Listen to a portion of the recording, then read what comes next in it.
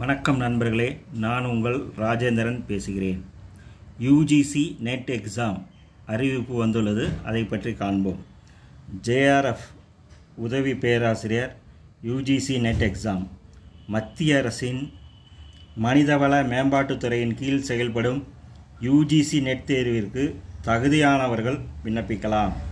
Net தேர்வில் தேர்ச்சி பெறுபவர்கள் பல்கலைக்கழகங்களில் உதவி பேராசிரியர் மற்றும் ஜேஆர்எஃபாக பணியில் சேரலாம்.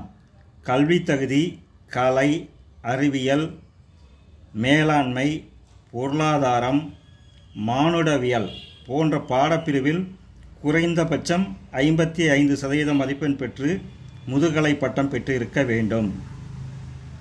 மற்றும் முதுகலை பட்டப்படிப்பு இறுதியாண்டு படிக்கும் மாணவர்களும் விண்ணப்பிக்கலாம். நெட் தேர்விற்கு வயது வரம்பு இல்லை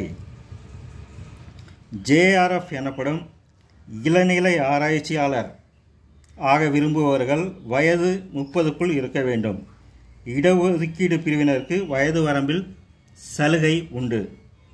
தேர்வு நடைபெறும் தேதி ஆறு பன்னெண்டு ரெண்டாயிரத்தி இருபத்தி மூணு முதல் இருபத்தி ரெண்டு பன்னெண்டு ரெண்டாயிரத்தி இருபத்தி மூணு வரை.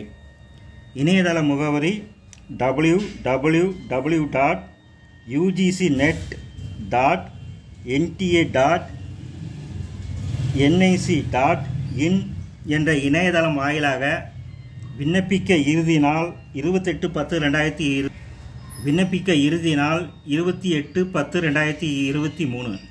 தகுதி உள்ளவர்கள் விண்ணப்பித்து பயனடையவும். வணக்கத்துடன் உங்கள் ராஜேந்திரன்.